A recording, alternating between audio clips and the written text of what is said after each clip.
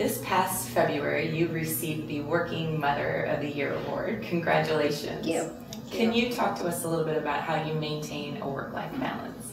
My husband, Tony, was actually the one who nominated me. The application and the letter was really amazing because what he talked about is, is really what I, I believe in. And I, I believe in this notion of, of harmony, not necessarily balance, because balance creates this impression that every minute of the day your life is in, is in perfect balance.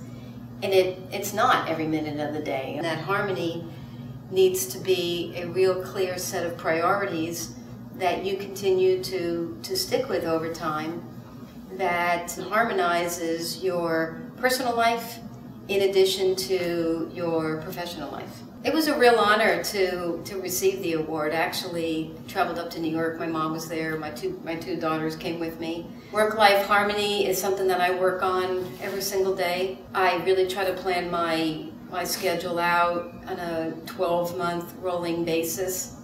I put football games on the calendar. I put band concerts on the calendar. I put um, summer vacations on the calendar.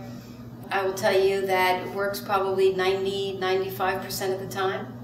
And then every once in a while, you realize that something got scheduled on top of something else. Back in, in December, where I opened my calendar on a Monday morning, looked at Tuesday, and said, oh my gosh, when did my holiday party get scheduled on top of my daughter's band concert?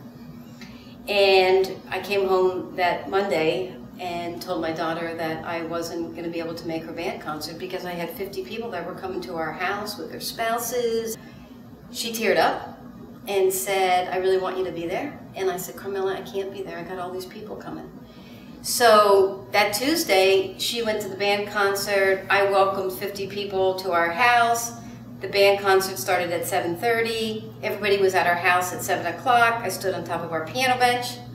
I said, glad you're here. Thank you very much for everything that you, you've done over the course of the year. Really thanked the spouses and said, you know what, I'll be back because I'm going to my daughter's band concert and uh, enjoy the house. You should have seen her, you should have seen her eyes when she came across the, the stage and saw me sitting in the front row and I thought I made the right decision.